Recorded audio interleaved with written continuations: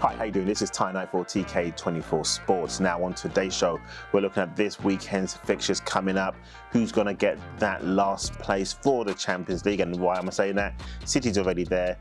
United's already there. Leicester's got one hand on that you know, top four finish. Then you, it's a battle between West Ham, Chelsea, and Liverpool. Now, the reason why I say that is because all the other teams, you've got Spurs and everything in the mix, but they're not really going to be in the mix. They're not consistent enough. They're not good enough to get into the Champions League.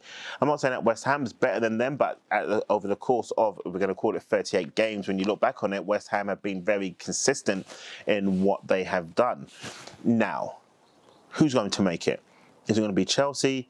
Is it going to be West Ham or is it going to be Liverpool?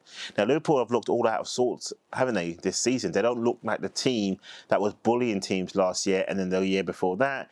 And then potentially maybe the year before that. They've just really and truly slipped away. No real investments in the summer that's actually come in to challenge the likes of Firmino, uh, Salah and Mane. Now, one of those three, or two of those three, or maybe three of those three could actually end up going this season. Chelsea look really good. Now, they've done the right thing by sacking uh, Frank Lampard and getting Thomas Tuchel in, and they have revived their season. They look really good. I mean, the game midweek against Real Madrid away from home, uh, the first 25, 30 minutes, it was wow, it was like a masterclass. I thought Real Madrid reserves were playing and the way that Chelsea went out and set their business out. Finished off 1 1, of course, but they've got the second leg to go next week, so that'll be an interesting game. But back to the Premier League. West Ham, they've got a tough game on Monday, which they play Burnley. Burnley, of course, battered Wolves, but West Ham are no scrub now. They have form, they've got confidence, and they've got Jesse Lingard. Of course, they've got more than Jesse Lingard, but he's on loan from Manchester United, but he looks to be revived and, you know, just full of life and happy to be playing again. But who's going to get that top four place? I, I don't think Liverpool will. I do think if Chelsea win this weekend, and I believe they're playing Fulham, and if they win this weekend, that just gives them a bigger, you know, step in to the Champions League. That'll put them six points in front of West Ham, who have to play on Monday. And mm, it's going to be a hard one. It's going to be a tough one.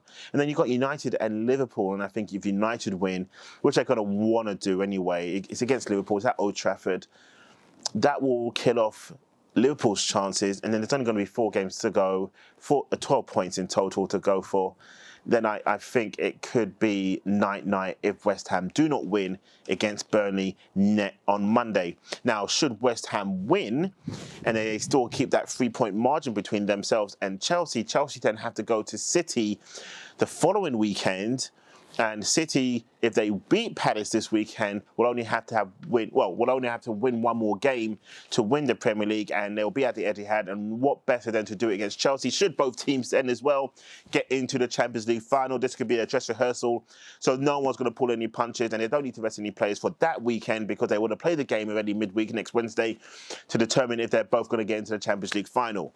So as you can see, there's a lot to play for with four games to go. There's a lot riding on this right now with four games to go. If United um, win, and they beat Roma, will they rest against Liverpool? I don't think Solskjaer's got that mentality. I don't think the players are going to want to be rested regardless of what the score is going to be against Roma. So as you can see, there's so much still at stake with four games to go in the Premier League, the race for the top four. I would love to know your views and I'd love to know your thoughts. Please leave a comment below. Make sure you like, subscribe and turn on that notification. Share this video and help us grow. Help, we're a growing we're a growing channel. We're growing every single view, every single day, every single video. So once again, thank you for watching. I'm Ty Knight for TK24 Sports. You've been great. See you soon.